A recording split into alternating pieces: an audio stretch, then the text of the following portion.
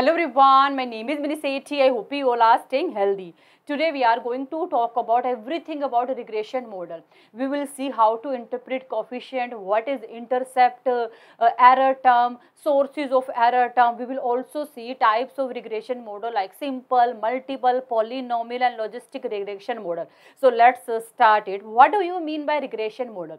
regression model help to understand and predict the relationship between dependent and independent variable regression model help to understand and predict relationship between dependent and independent variable. For example, demand is dependent variable, price is independent variable because demand depend on price.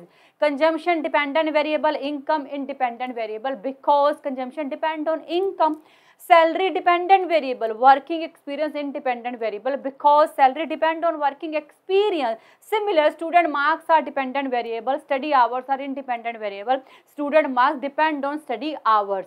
And regression model help to understand relationship between these dependent and independent variable and also predict value of dependent variable based on independent variable now we will see how to interpret uh, coefficient in a regression model. Here y is dependent variable, x is independent variable, alpha is intercept, beta is a coefficient. Uh, we will see how to interpret this coefficient in regression model. We put uh, 10 in place of uh, alpha, we put uh, 3 in place of uh, beta. There are mainly two type of coefficient, positive coefficient and negative coefficient positive coefficient means when independent variable increase, dependent variable also increase. Suppose we put 1 in place of x, then y will become equal to 30. If we put 2 in place of uh, x, then y will become equal to 16. If we put 3 in place of x, then y will become equal to 19. Here you can see one unit change in x or you can say that one unit increase in x will lead to 3 unit increase in y. y is increasing from 13 to 16, 16 to 19. That means 3 unit increase in y na, due to 1 unit increase in x. So here you can see positive relationship between uh, dependent and independent variable. When independent variable increase, dependent variable also increase and this value will shows how much uh, dependent variable increase due to 1 unit increase in independent variable. And in case of positive coefficient, you will will see plus sign. Now we will see negative coefficient. Negative coefficient means when independent variable increase, dependent variable decrease. Negative coefficient means when independent variable increase, then dependent variable decrease. And in case of negative coefficient, you will see negative sign minus sign. If we put 1 in place of x, y will become equal to 7. If we put uh, 2 in place of x, y will become equal to 4. If we put 3 in place of x, then y will become equal to 1. Here you can see 1 unit increase in x will lead to 3 unit decrease in y. 1 unit increase in x will lead to 3 unit decrease in y. So here you can see negative relationship between dependent and independent variable and this value shows how much uh, dependent variable uh, fall due to increase in uh, independent variable. Now we will see what is intercept, what is alpha. Intercept uh, shows value of dependent variable when all independent variable are 0. Intercept shows value of a dependent variable when all independent variable are 0. Here y is dependent variable, x, x1, x2 are independent variable. We can take more than one independent variable and beta 1, 2 are uh, coefficient as we earlier discussed. Uh, suppose all uh, independent variable are 0 then y will become equal to 10. This 10 will be called value of alpha or, or you, you can say that this 10 will be called intercept because intercept shows value of a dependent variable when all independent variable are 0. In this diagram you can see on x-axis we have independent variable, y-axis we have dependent variable. When independent variable is 0 then dependent variable is OR. This OR will be called alpha or you can say that this OR will be called intercept because intercept shows value of dependent variable where independent variable is 0. Now we understand intercept with the help of one example. consumption dependent variable income independent variable. Consumption depend on income. If income is zero then consumption should zero now but note why? Because in order to survive individual have to buy food either he buy food uh, from his past saving or uh, by taking money from someone else but he have to buy food. And this expenditure will be called intercept. Here you can see when income is zero still consumer is doing a 10 expenditure. This part will be called autonomous consumption or you can say that this part will be called intercept because intercept shows value of a dependent variable when independent variable is zero now we are going to talk about error term. Error term captures the influence of all other variable which affect our dependent variable but are not included in our model. Error term capture influence of all other variables which affect our dependent variable but are not included in our model. For example, our demand is dependent variable and demand depend on price, income, fashion and trends. I Mean these are independent variable. These are most important independent variable which influence our dependent variable. That's why these variable we include in our model. X represent price, X1 represent income, X2 represent fashion, X3 represent trend. But some people buy product when they get bored. Some people buy product when their mood is not good, they are very stressed. So these factor also influence demand but these are not relevant factor. We cannot include these factor in our model. That means in reality this is not possible to include all variable which affect our dependent variable. That's why we include error term. Error term capture influence of all other variable that affect dependent variable but are not included in our model. So here we will add error term. This E represent error term and this error term capture influence of all other variable that affect our dependent variable but are not included in our model. So error term is difference between estimated value of dependent variable and actual value of dependent variable.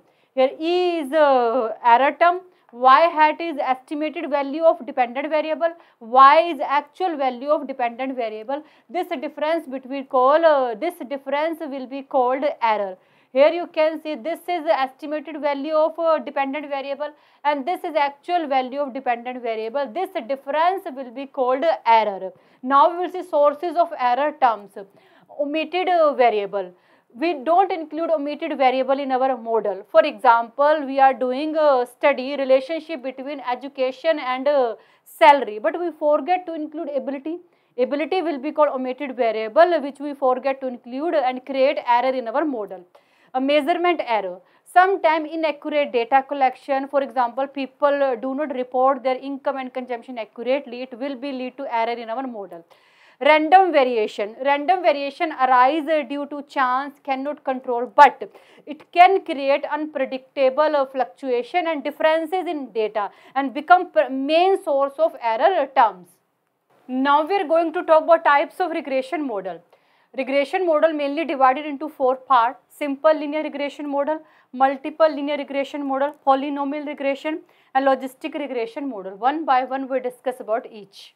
First of all, we are going to talk about simple linear regression model. Simple linear regression model describe relationship between one dependent variable and one independent variable simple linear regression model describe relationship between one dependent variable and one independent variable. Here you can see y is a dependent variable and uh, x is independent variable. We have only one dependent variable and one independent variable. This is intercept, this is coefficient and this is error term as we earlier discussed. X-axis we have independent variable, Y-axis we have dependent variable and this line shows the relationship between one dependent variable and independent variable. And this slope shows a coefficient. But why? As we earlier discussed, coefficient mainly tell us how much dependent variable change due to change in independent variable.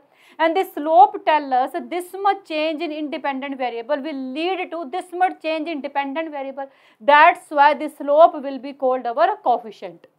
Now we'll see multiple linear regression model. Multiple linear regression model shows the relationship between single dependent variable and multiple independent variable multiple linear regression model shows relationship between single dependent variable and multiple independent variable. That means here we have more than one independent variable, but dependent variable is single. Here you can see we have single dependent variable but multiple independent variable x, x1, x2, x3 are all independent variable. So these equation shows the relationship between single uh, dependent variable and multiple independent variable. Same way this diagram shows relationship between single dependent variable and multiple independent variable. This line shows relationship of dependent variable with x1 independent variable and this line shows relationship of dependent variable with x2 independent variable. Similar this line shows relationship of dependent variable with x3 and x4 independent variable. So we can say that multiple linear regression model shows relationship between single dependent variable and multiple independent variable. Now we are going to talk about polynomial uh, regression model. Simple linear regression model and multiple linear regression model shows linear relationship between dependent and independent variable. But polynomial regression model shows a non-linear relationship between dependent and independent variable. That means in case of polynomial regression model, we don't have linear relationship between dependent and independent variable. Here we use polynomial terms like x square, x cube. This is simple linear regression model and this is a diagram of a simple linear regression model which we represent with straight line and equation here you can see x, x2 and x3 don't have any square or cube but this is a diagram of a polynomial regression model and here we can see we use polynomial terms like x square and x cube. Now we are going to talk about logistic regression model. We use a logistic regression model when our dependent variable is dummy. We use the logistic regression model when our dependent variable is dummy. Dummy dependent variable means we cannot measure our dependent variable in terms of number. That's why we use binary terms in order to measure our dependent variable. Binary terms means 0 or 1. For example, Customer satisfaction is our dependent variable. We cannot measure customer satisfaction in terms of number. You can measure demand in terms of number. You can measure price income in terms of number. But how you can measure customer satisfaction in terms of number? That's why here dependent variable is dummy because we cannot measure dependent variable in terms of number. In order to measure dependent variable, we will provide binary terms like 0 or 1. If customer is satisfied, we will use 1 1. If customer is not satisfied, we will use a 0. So this is all about regression models. I think you got it and thank you so much for watching this video. Bye. Take care.